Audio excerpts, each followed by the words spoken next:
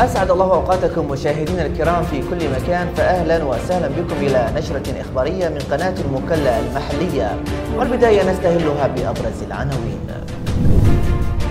المكلا تحتفي بالذكرى الثالثة لتحرير ساحل حضرموت وتشهد حفلا خطابي وعرضا عسكري وكرنفالي.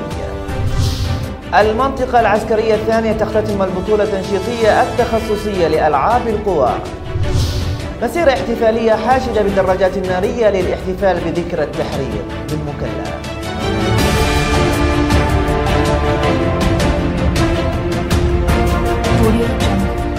أهلا بكم. نعم محافظ محافظة حضرموت قائد المنطقة العسكرية الثانية اللواء الركن فرج سالمين البحسني. الشخصية الإدارية والاجتماعية بوادي حضرموت جعفر عبد الله بن سند الذي انتقل إلى جوار ربه عن عمر ناهز الثمانين عاما. ورفع المحافظ خالص العزاء إلى أولاد وأسرة الفقيد. سائلا المولى تعالى أن يتغمده بواسع الرحمة والمغفرة وأن يسكنه فسيح جناته ويلهم أهله وذويه الصبر والسلوان. إنا لله وإنا إليه راجعون. شهدت مدينة المكلا اليوم حفلا خطابي وعرضا عسكري وكرنفالي. بمناسبة الذكرى الثالثة لتحرير مدينة المكلا ومدن ساحل حضرموت من عناصر تنظيم القاعدة في الرابع والعشرين من شهر إبريل من عام 2016 ويأتي هذا الحفل برعاية رئيس الجمهورية عبد رب منصور هادي. وفي الحفل الذي أقيم بمعسكر لواء الريان ألقى محافظ حضرموت قائد المنطقة العسكرية الثانية اللواء ركن فرج سالمين البحثني كلمة رفع في مستهلها التهاني لرئيس الجمهورية بمناسبة الذكرى الثالثة لتحرير مدن ساحل حضرموت وقال المحافظ البحسني يظل الملف الخدمي وتطوير مستوى الخدمات في المحافظة هو الجانب الآخر الذي لا يقل شأنا وأهمية ونشير بأننا لم نقف عن حدود تحقيق الأمن والاستقرار لكننا عملنا بشكل جدي في اتجاه تحقيق البنية التحتية. وشهد الحفل عرضا عسكريا لوحدات رمزية من ألوية المنطقة العسكرية الثانية والأمن والشرطة بساحل حضرموت. أظهرت مدى الاستعداد الدائم والجاهزية القتالية كما تم استعراض المركبات الآلية والمعدات العسكرية المختلفة. وقدمت دفعة شهداء حضرموت عددا من الفقرات القتالية مع ترديد الشعارات الوطنية المصحوبة بالموسيقى العسكرية.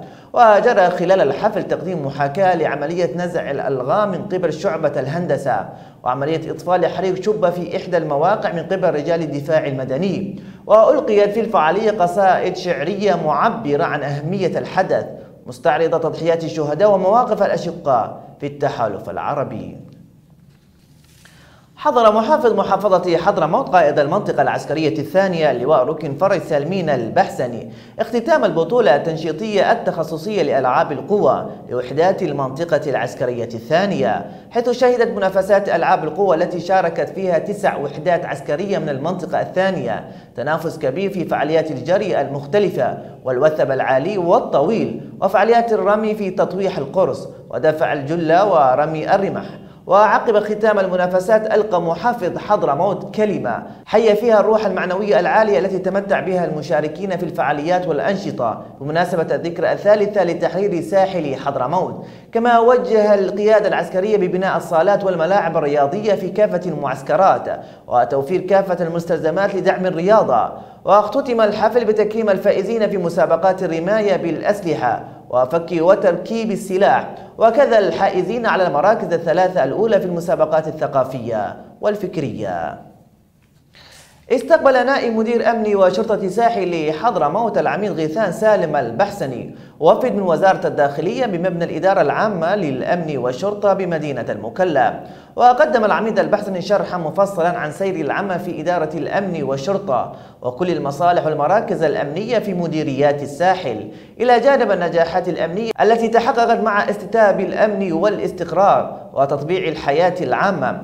كما استمع الوفد من مديري القيادة والسيطرة المقدم مرعي با خلعة ومدير إدارة شؤون الأفراد العقيد العبد باغراب إلى شرح مفصل عن آلية العمل والإمكانيات التي تم توفيرها من قبل الأشقاء في التحالف العربي خصوصا دولة الإمارات العربية المتحدة التي تبنت تأهيل وتطوير القطاع الأمني. وأشاد الوفد بحالة الأمن والاستقرار التي تشهده مديريات الساحل والانضباط واليقظة العالية ومستوى الأداء والتطور في البنية التحتية للأمن والشرطة. اطلع المدير العام لمكتب وزارة الصحة العامة والسكان بساحل حضرموت الدكتور رياض الجريري على خطة توزيع الأدوية والمستلزمات الطبية المقترحة من قبل المختصين في التموين الطبي للمرافق والمديريات الصحية لاستقرار التموين الدوائي في المستشفيات والمرافق الصحية. ووجه بصرفها مجانا من خلال الصيدليات المجانية في المستشفيات والمرافق الصحية لمواجهة الأوبئة والتخفيف عن المرضى المترددين. كما التقى مدير صحة ساحل حضرموت بالبعثة الطبية الأوزبكية الجديدة التي ستعمل في مستشفى الفقيد الشاذلي بمركز الجو بمديرية حجر لتقدم خدماتها للمواطنين في اختصاص النساء والتوليد والتخدير. من جانب آخر ترأس مدير عام صحة ساحل حضرموت اجتماعا للوقوف على مستجدات الوضع الوبائي بالمكلا والاطلاع على تقارير الترصد عن حالات الوبائية. مطلعا على تقارير الوضع الوبائي في مديرية مدينة المكلا والحالات الوبائية التي تم الترصد عنها خلال الفترة الماضية القريبة والتدخلات التي تم تنفيذها على أرض الواقع مؤكدا على الاستقرار في الوضع الوبائي بحضرموت. مقارنة بالمحافظات الجمهورية الأخرى في ظل تفشي حالات الكوليرا والضنك والدفتريا وعلى نفس الصعيد تفقد مدير عام صحة ساحل حضرموت المراكز الصحية بالمكلا واختتم الجريري الدورة التدريبية التأسيسية في مجال الرعاية التكاملية لصحة الطفل التي تستهدف 30 من أطباء الساحل بتمويل من منظمة اليونيسف. دجن مدير مكتب الصحة والسكان بساحل حضرموت دكتور رياض الجريري بمستشفى هيئة لطب وجراحة العيون بالمكلا المخيم المجاني لطب وجراحة العيون لإزالة المياه البيضاء وزراعة العدسات. وخلال التدشين أكد الدكتور الجريري على الشراكة الفاعلة مع مؤسسة البصر الخيرية العالمية مثلا بمستشفى هيئة بإقامة المخيمات الجراحية في طب وجراحة العيون. كما أوضح المدير العام لمستشفى هيئة لطب العيون فهمي العكبري أن هذا المخيم المجاني يستهدف أكثر من 2075 حالة تم فحصهم من مناطق الحامي وغير بوازير وفوة القديمة حيث ستجري 538 عملية جراحية مع توزيع الأدوية والنظارات للمستفيدين. تسلم مكتب وزارة الصحة العامة والسكان بحضرموت الوادي والصحراء قاطرة من الأدوية والأجهزة والمستلزمات الطبية من البرنامج الوطني للإمداد الدوائي بعدن واحتوى هذا الإمداد على 40 طن من الأدوية والمستلزمات الطبية وعدد من الأجهزة لفرع مركز بنك الدم وأبحاثه والمختبر المركزي للصحة بالإضافة إلى علاج الأنسولين لمرضى السكري بحضرموت الوادي. من جانبه أكد المدير العام لمكتب وزارة الصحة العامة والسكان بحضرموت الوادي والصحراء الدكتور هاني العمودي بأن هذه المنحة الطبية ستسهم في تخفيف معاناة المستفيدين من المرضى وترتقي بالعمل في المراكز المختبرية مؤكدا في الوقت ذاته بأنه سيتم إعداد خطة توزيع لتلك المنحة على جميع المستشفيات بالوادي والصحراء والمراكز الطبية التخصصية والمراكز الصحية لتوزع مجانا للمرضى.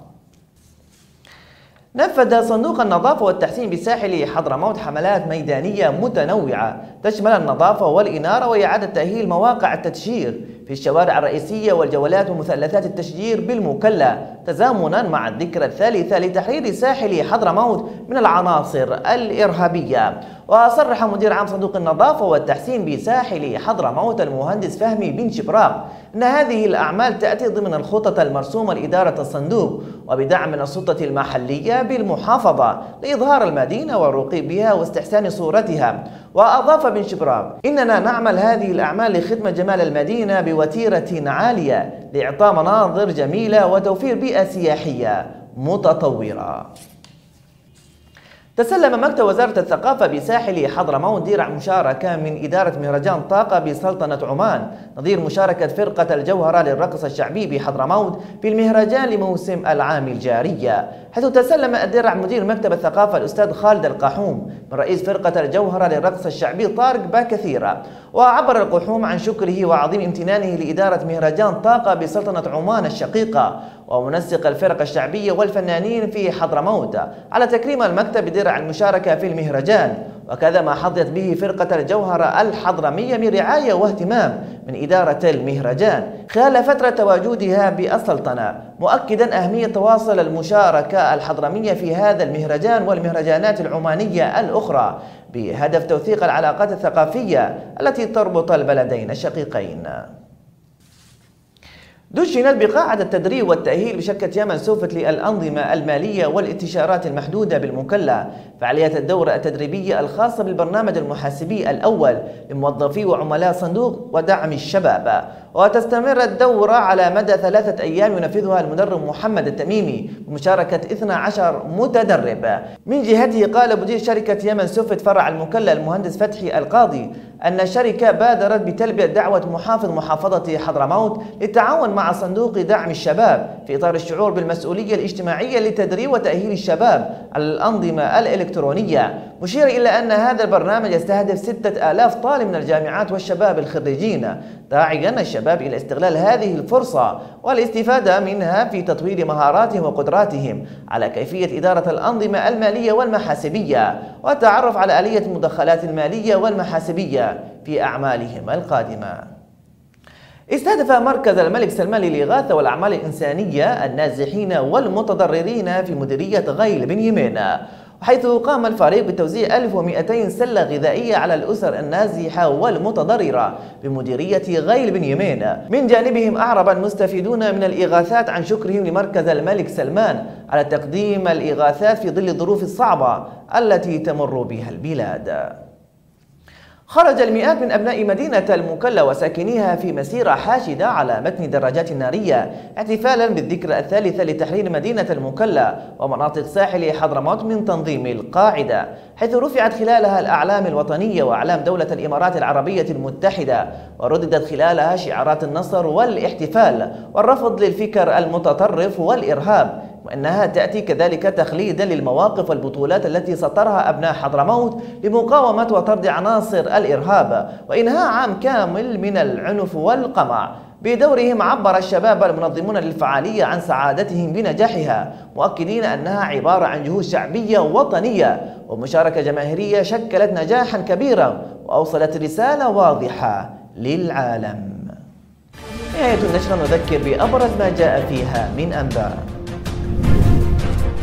المكلا تحتفي بالذكرى الثالثة لتحرير ساحل حضرموت وتشهد حفلا خطابي وعرضا عسكري وكرنفالي المنطقة العسكرية الثانية تختتم البطولة التنشيطية التخصصية لألعاب القوى. مسيرة احتفالية حاشدة بالدراجات النارية للاحتفال بذكرى التحرير بالمكلا.